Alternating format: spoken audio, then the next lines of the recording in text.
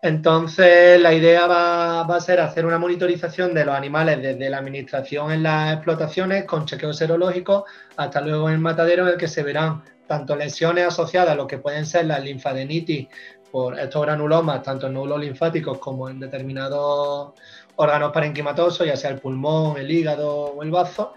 como también ver otros, otra serie de lesiones, otros, otros índices lesionales a nivel respiratorio o digestivo.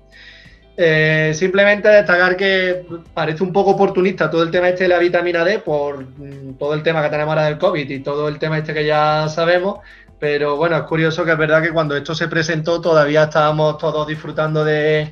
nuestra compañía sin mascarilla y yéndonos a la terraza sin ningún tipo de problema. Pero bueno, eh, de hecho, eh, pues la situación actual pone de manifiesto que el tema este de la vitamina D en determinadas circunstancias pues puede ser una aproximación de interés que indudablemente hay que, monitorizar y para ver bien en función de cómo se aplica.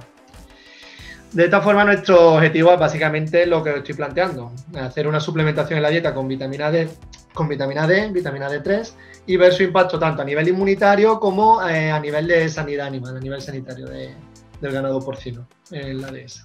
Bueno, y los principales resultados pues van ligados pues de esta de, esta, de estos aspectos que vamos a ver. nuestra hipótesis sería que esta suplementación con vitamina D sí que nos va a permitir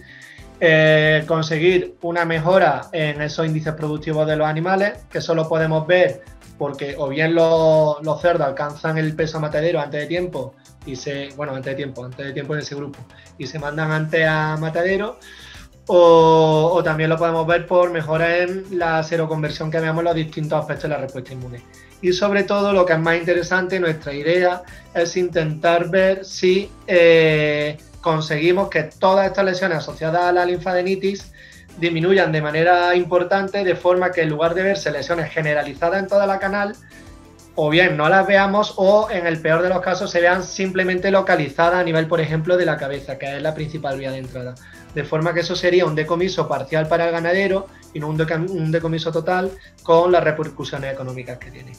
Por eso, una cosa que no he dicho antes y que sí que sería bastante importante es que eh, las explotaciones tienen que ser explotaciones que tengan un histórico de decomisos por linfadenitis, porque si no, no tendría, no tendría mucho sentido, no podríamos ver esos efectos.